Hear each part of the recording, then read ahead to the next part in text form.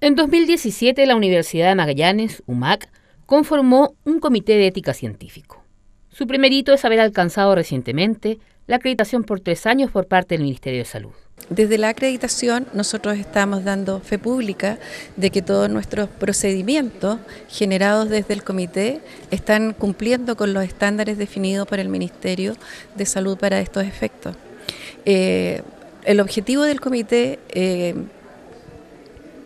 nos indica que nosotros somos los garantes del resguardo de los derechos de todas aquellas personas que entran en los proyectos de investigación. La instancia colegiada de carácter regulatorio y dependiente de Rectoría cuenta con diversos integrantes. Con la composición actual de los miembros del comité se viene desarrollando aproximadamente desde 2017 se ha ido sofisticando el trabajo, consolidando el trabajo, dando a conocer el trabajo del Comité de Ética Científico en los eh, académicos, académicas e investigadores de la universidad, eh, que tienen por obligación presentar sus propuestas de investigación científica al comité.